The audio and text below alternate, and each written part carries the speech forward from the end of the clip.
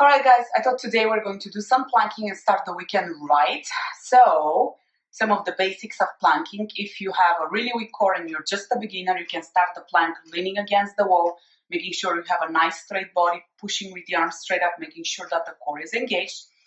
If you're kind of intermediate, you can get into your knees, same thing, nice long line here, making sure the hips are not sticking out or the lower back sinking in. Hands right under the shoulders, nice long neck. Now, if you have knee problems, you certainly want to avoid that. You don't want to be on your knees and be especially careful with rocking onto your knees. And then the full plank is right here. Nice long line. Hips are not sticking up. Lower back is not sinking down. Once again, the hands are right under the shoulders. Also, the neck, be mindful of that. A lot of times, what you see is this people just let the head go. That's part of your plank, so you hold it there nice and tall.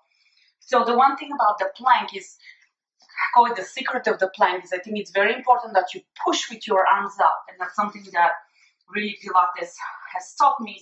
The more you push with the arms up, the more of an engagement you're going to feel into your core. So that really helps. A lot of times what happens is people start sinking in into their shoulders and then that gets really hard. So that's it. Let's plank. And I thought today we're going to shoot for two minutes, just straight plank. And then next week, um, we can add some variations in making the plank more fun for um, those of you that are more advanced. So what you need to be against the wall onto your knees or straight plank. Position the hands right under the shoulders. I have the timer right here. And I'll start it right now, going for two minutes. Of course, do what you can. If you need to take a break, take a break and join us when you uh, can again. Let's go.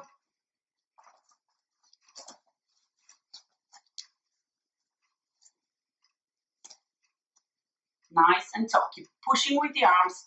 Make sure that the bottom stays down. Long neck and hold.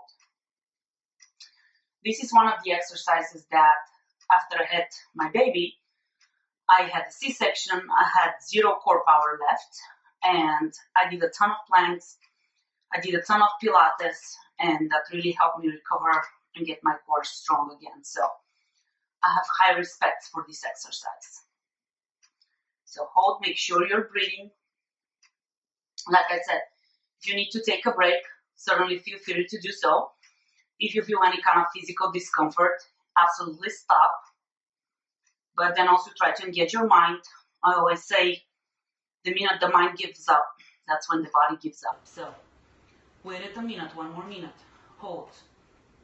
Keep pushing straight up with the arms. Keep squeezing the bottoms. Keep those heels together, that keeps the bottom engaged. And breathe. Almost there. 40 seconds left. And just enjoy. Almost there. Down to 30 seconds. Just think how strong you're getting right now. Feel the burn. It feels kind of good in a weird way. 20 seconds, less than 20 seconds left. I have a bad habit of sticking my head up from teaching and looking around the room, so be mindful of that neck.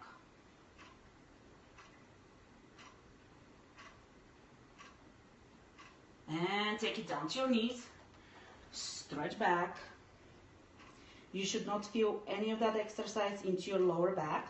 If you do, that means that you're probably not engaging your core enough. So that means you're probably sinking into your back. Pull the belly up and just hold it up. Hope you enjoy it. We will do more next week. Have a great weekend. Bye.